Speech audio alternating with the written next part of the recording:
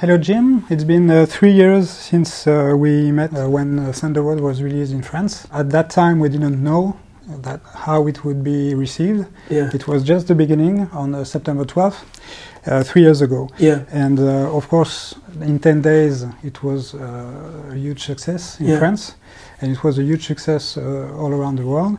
I'm very glad to meet you, of course, Yeah. and meet to meet you again after all we've been through. Yeah. It's very important that we meet face to face, and we can I agree. actually crazy? touch. It's Yeah. crazy. Yeah. And uh, we didn't uh, do the Zoom thing Yeah. because we wanted to save for this Okay, good. moment. Good, good. So it's uh, I'm very glad to be here with you. Uh, I wanted to know how you went from Thunder Road to The Wolf of Snow Hollow. Yeah, so I had written The Wolf of Snow Hollow a year before I had written the feature of Thunder Road. So when we had won Deauville and South by Southwest and had gotten into Cannes, and Thunder Road became this cultural phenomenon that it is, um, we were speaking about making this movie, this werewolf movie, and knocking on people's doors and saying, "Hey, would you let us do this film?" And uh, and in doing so, MGM and Orion Pictures said, "Yeah, we want that film."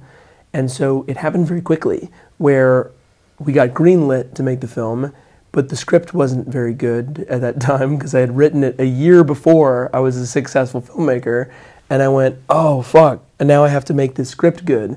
And so I spent like the next six months just changing it and making it as good as I could.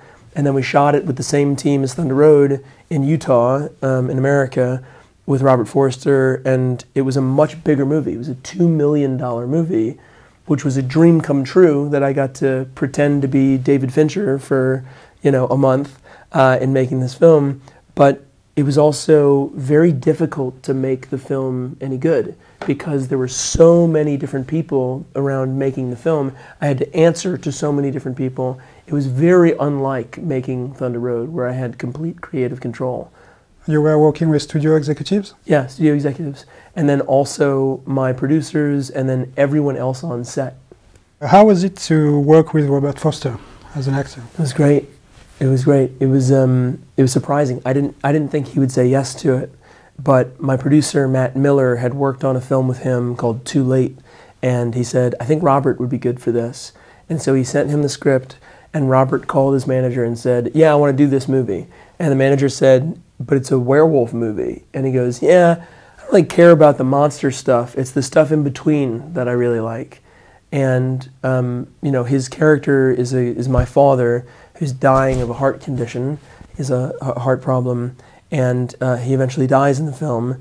And he, in real life, Robert was dying of cancer and didn't tell anybody. So it was this like kind of strange meta example of making a movie with someone and they're playing someone who's dying and then they actually were dying and all of the comedy of not being able to tell people and I think that's what he meant when he said, that's the stuff that I like, the stuff in between. Um, but he was such a nice guy, and he was just everybody's kind of grandfather, this kind of like mascot for the film production. And he was so nice and just really, really un- unbelievable.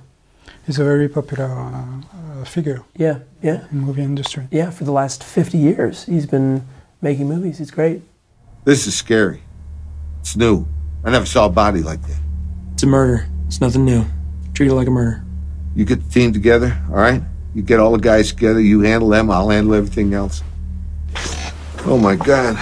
Yeah, the fact that it was not released uh, widely, uh, how, how did that happen? we were planning on it being a much wider release, but then the pandemic happened, and so it was supposed to come out in March of 2020, and then it got pushed to October of 2020. And in some cases, that was really great because it was around Halloween in America, so so many people were watching horror films. Um, and because Candyman and Halloween Kills didn't come out, uh, our movies rose to the top. So it was like independent films like ours and um, Scare Me and a bunch of American independent films became very popular. But I had no control over it. Like w- we called MGM a couple of times and said the movie should be coming out in France. You could be making money, basically. Like talking to the studio heads and be like, "You like you guys like money, right?"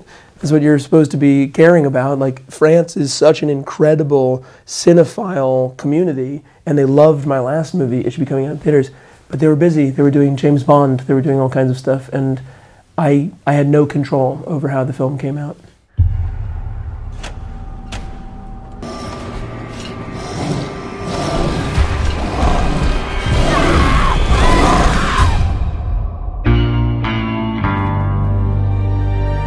I'm John. I'm an alcoholic. I've been in the program now for six years, sober for three. I've got a trivia question. Okay, cool. That's uh, an ongoing uh, debate on the internet. Uh, what's the most powerful? Uh, what's the most dangerous? Vampires or werewolves? what's your take on this? Because we need you Well- to rate on it. and why did you choose a werewolf? I thought it was going to be a serious question. That's really good. Uh, I think well, vampires live forever, and uh, and werewolves, you know, th- their lives are so out of control they could easily get harmed. I think I think vampires would probably win in a fight between the two of them.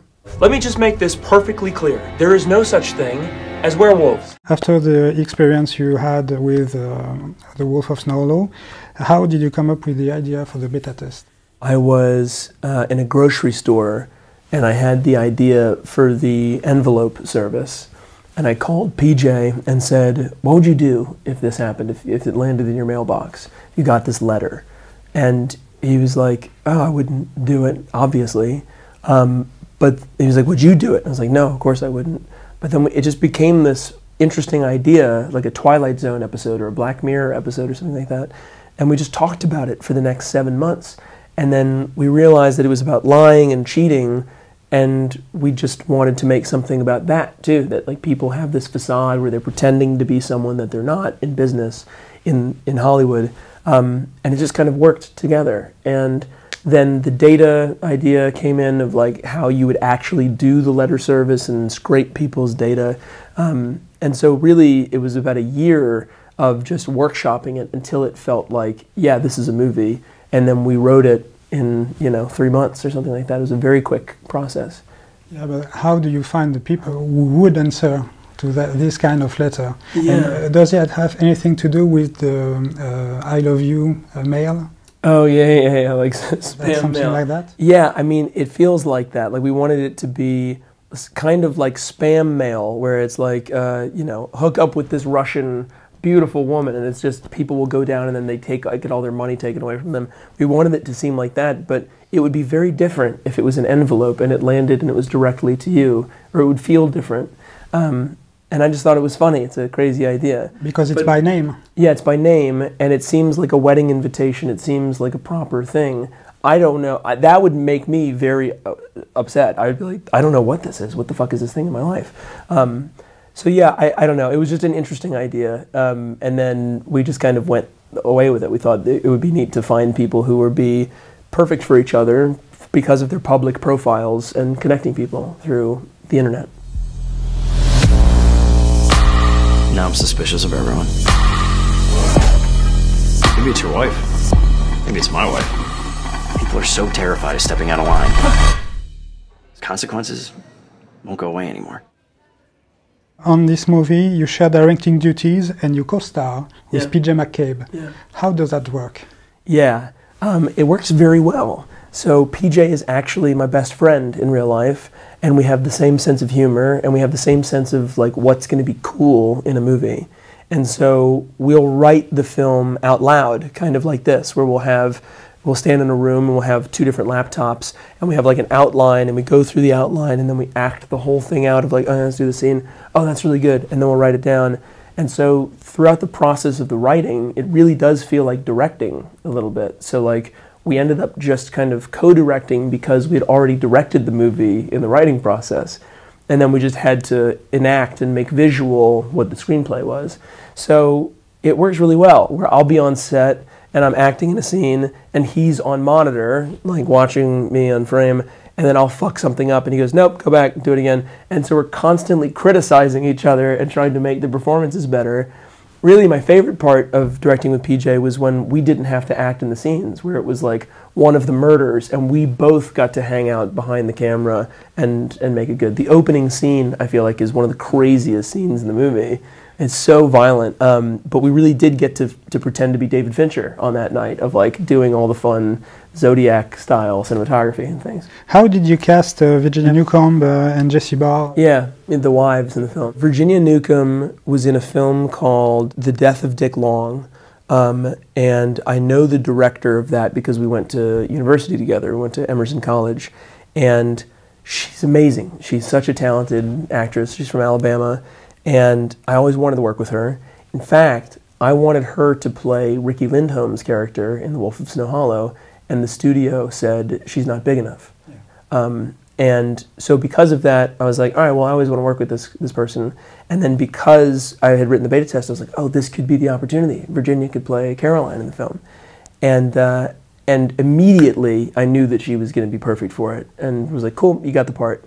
And then Jessie is a filmmaker. Jessie Barr made Sophie Jones that was at Deauville last year, uh, and she's also an actress. And when I was writing the script for Lauren, for PJ's wife, I was thinking about like who could this be, and I was like, oh, I think I've been writing this for Jessie Barr, kind of by accident. And then she came into audition, and she's a perfect actress. She like could she she knew everybody's lines better than we did, and she was able to do the monologue perfectly without changing it every time we shot her. She was amazing. Um, I was very lucky. Like it's crazy. Like to be able to find people who are perfect and so interesting to watch. Um, I felt very, very lucky. You have two composers credited on the music. Yeah. How did you work with them? That's uh, Jeffrey Campbell Binner Yeah. and Ben Lovett. Yeah. So. Two very different profiles. Yeah, yeah, yeah. So. One young and one. Yeah, yeah, yeah, yeah. M- yeah more seasons. Um, so Jeff Binner uh, came on very early on when we were writing the screenplay, and we wanted it to be a very like Italian giallo 1970s horror movie, like Dario Argento music with harpsichord and all kinds of stuff. And so Jeff was doing all of that stuff very early on, and then when we were editing the film, we started incorporating all of this classical music, all of this Vivaldi that was making the movie work better. And then there were certain things like the opening titles where I was like, "Oh, I think we should get I think we should get Ben Lovett to do some of this stuff." Ben had done the score for The Wolf of Snow Hollow, and it's so big and so impressive. And I was really in a jam where I was like getting close to the deadline, and we need these big opening songs and stuff. And Ben said, "Yeah, I can do that."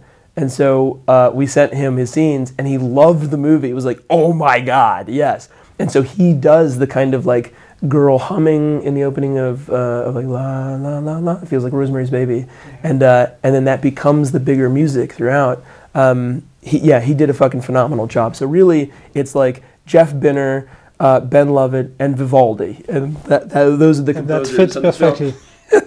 They really are that good. They really are as good as Vivaldi. Yeah. Uh, was it about editing? Did you have trouble editing with all that music?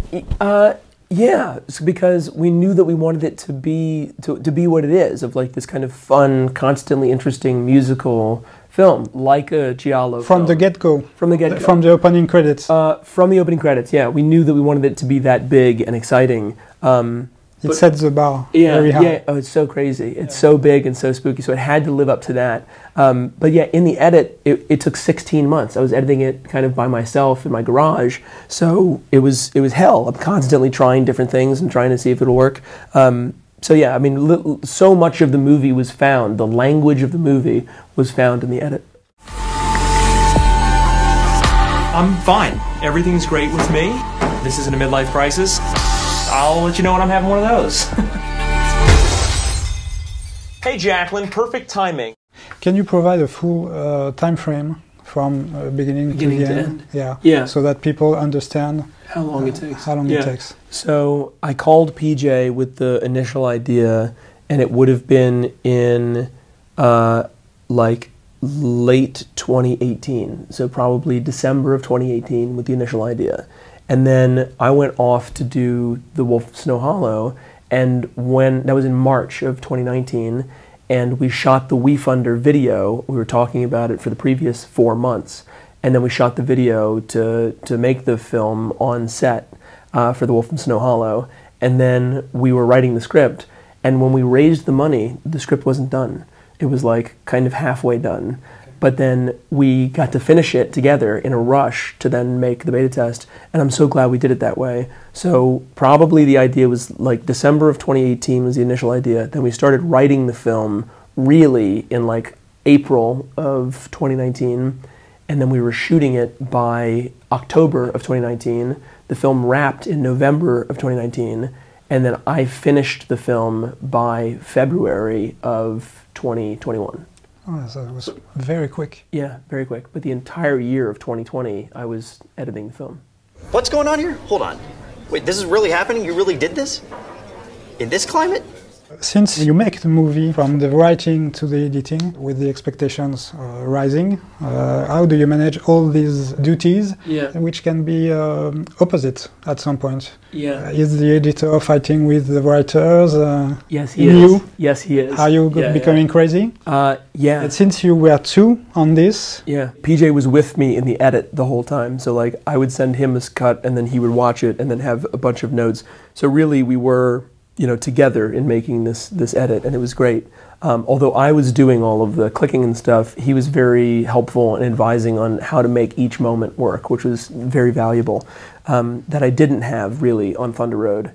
Um, but yeah, I, it, it is difficult to make movies this way, and you had people uh, on Thunder Road. two producers we could have a screening. We could have like people come in and watch the film and then give notes and then i could go away and edit the film. But with with covid we couldn't do that. So it was literally just me and pj doing this and he would get tested and then come and stay with me for a week and then we would just edit the film for a full week and then he'd go away. Um, but yeah no it, it is hell it's hell making movies like this. It's torture to make movies like this, where you spend three years, two years working on a project, constantly doing all of that, of every particular thing in a, in a film. All of the sound design, all of the tweaks are, are done through my hands, these two hands exclusively.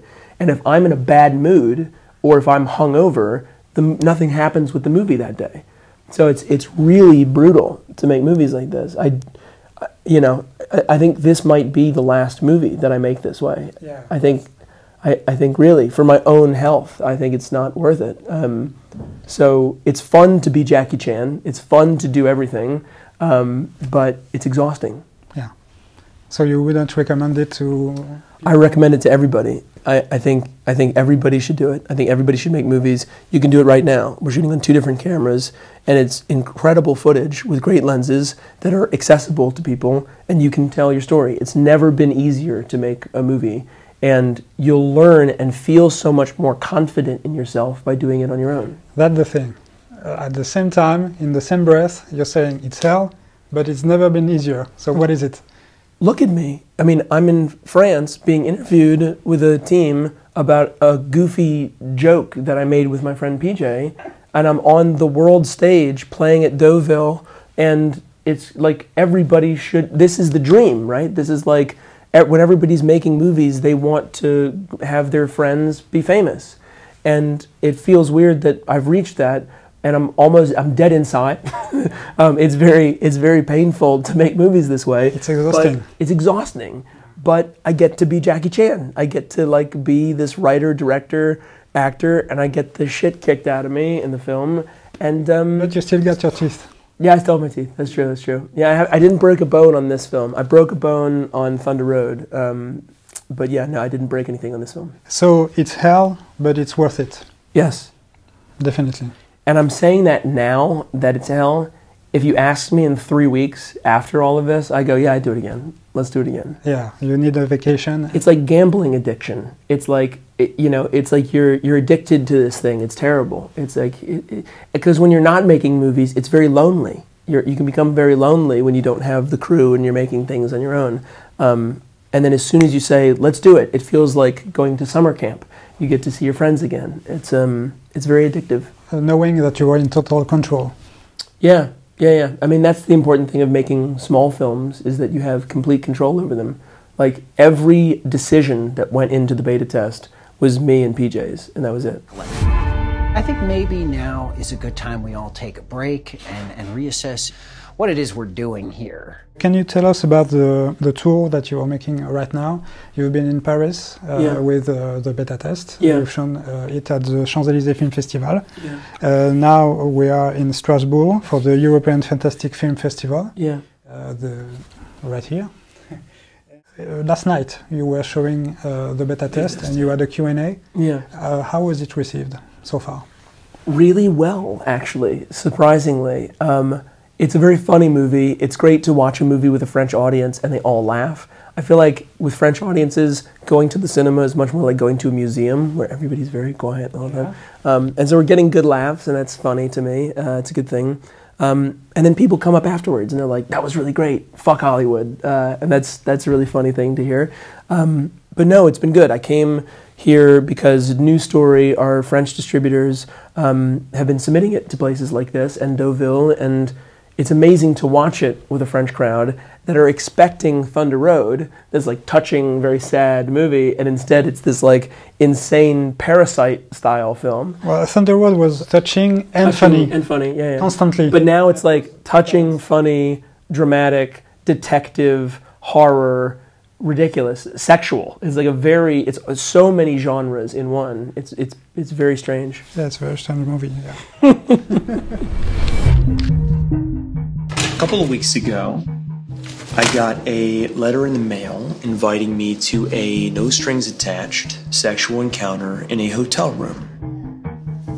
It's a pretty card, looked official. I don't know. I was stupid. I went, What? Dude, this is nuts. How would you present that movie?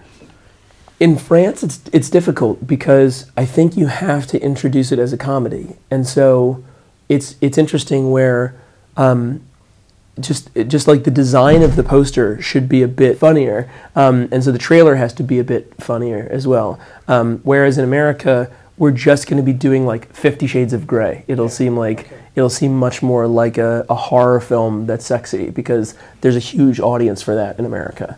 Whereas like the French watch the film as like a straight comedy of like Hollywood is stupid and we are more powerful as the public than Hollywood is, and uh, that's my favorite way to see the film. How does it work for you that uh, you've been uh, saying at Q and A's that are being filmed? Fuck Hollywood. There's a line in the film where PJ goes, "What are we going to get into trouble?" And it's like that's kind of how I feel. Of like, what's the worst that can happen? You say "fuck Hollywood." Everybody hates Hollywood, you know. Like they're laughing. Everybody hates Hollywood. It's like, and I think everybody understands what Hollywood is. Sometimes better than people in Hollywood. Like everything that you know about Hollywood or that you think about Hollywood is true. There are corrupt people. It's terrible for women to work in. Um, they don't make great stories. It takes forever. There's a lot of bullshit. And because of the power dynamics, the uh, dynamique de puissance in Hollywood, um, people are terrified of speaking honestly about it. And I just wanted to make a joke. I just wanted to make a movie that was funny about it. Okay, so uh, you're still going to work in Hollywood on that from I've never worked in Hollywood. I mean, like we've I live in Hollywood, but really we made this movie because people on the internet, strangers on the internet, gave us money to make this movie. Like, even if I get canceled, even if I get blacklisted, I can still go back to doing this thing, to making movies with my friends in my backyard. Like, if that's the worst case scenario, that's still a great career. I still get to have fun. And there might still be people in Hollywood calling you anyway. Yeah, I mean, like nobody in Hollywood saw Halloween Kills. Yeah, I'm in Halloween Kills. Yeah. So David Gordon Green, who also I see as kind of outside Hollywood. I see him as an independent filmmaker um, who dabbles in Hollywood. Yeah, he called me, and I get to be in. I get to be in Halloween Kills. You're very active uh, on uh, the internet. You have uh, Twitter Spaces. Yeah, You've sure. been experimenting. You're constantly online, Yeah. helping people trying to who try to make it uh, to make movies. Yeah. And you're giving advice. You're uh, telling stories. You're an open Yeah. book. Yeah. How is it going? And uh, do you plan to keep going forward? I think so. Yeah, because I've been able to make movies independently in America, people email me or they'll, you know, message me on Instagram or Twitter and say, "Hey, I have this problem. How do I fix this problem?" And I'll answer it for them on Twitter privately, and then nobody else hears that answer. And so I end up having to answer the same questions over and over again. Whereas by having it be public in Twitter Spaces, someone asks a question and I tell the answer, and then 400 people hear it live. people on It- yeah, on Spaces. And so it's amazing to be able to have that kind of help for people. I didn't have that growing up. There was no real outlet to be able to help people in independent film. So I struggled for a long time. But now I feel very good that I can help people all at once. And it takes me one hour once a week, and I get to give back in a fun way. Um, and I want to see better movies. You know, like if this helps to encourage the next generation of filmmakers to make better movies, it's very selfish. Yeah, I, I get to watch better films. Are you going to get uh, something back from that? I don't think so. No, I mean, really, just hopefully better films that people will go off and make movies on their own. Maybe uh, people crediting you uh, thanks to Jim Well, actually, it's funny you say that. I've heard people give speeches when they're accepting an award, and they'll say like, "I want to thank Jim Cummings for like inspiring." like, like." So it does feel like helpful. It does feel, it does feel like there is like an actual benefit to it. Thank you, Jim. Uh, thank you to the Festival européen du film fantastique de Strasbourg for having uh, having us, having you uh, today. You're uh, showing um, The Wolf of Snow Hollow today, and Yeah. you're going to be presenting and having a Q&A. It's the it. first time I'll be watching the film in a cinema because of COVID. I, I haven't been able to watch it in the cinema, so it'll be great. Oh, that's great. Okay, thank you. Thank you so much. You, thank you so much, man. Thank you so much. Pleasure.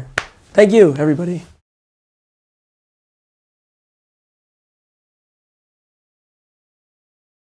Karaoke.